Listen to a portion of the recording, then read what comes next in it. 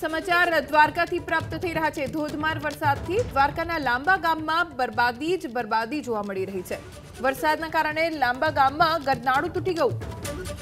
વરસાદ એટલો બધો વરસી રહ્યો છે કે ગરનાળું તૂટી ગયું અને જેના કારણે આસપાસના ઘરમાં પાણી ઘૂસી ગયા. ઘર વખરીને ખૂબ નુકસાન થયું. લોકો ઘરમાં પુરાઈ ગયા છે. ગરનાળું તૂટી જતા આસપાસ સોસાયટીમાં ઘરમાં પાણી ઘૂસી ગયા. જેના કારણે રહીશો પરેશાન થઈ ગયા છે. હવે તાત્કાલિક પ્રશાસને આ ગરનાળું પૂરવા માટેની કામગીરી શરૂ કરી છે.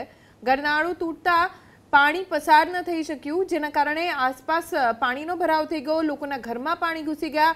પાણી ભરાઈ જવાના કારણે ઘર વખરીને પણ નુકસાન થયું. પ્રશાસનને જાણ કરતા તાત્કાલિક પ્રશાસને કામગીરી શરૂ કરી છે.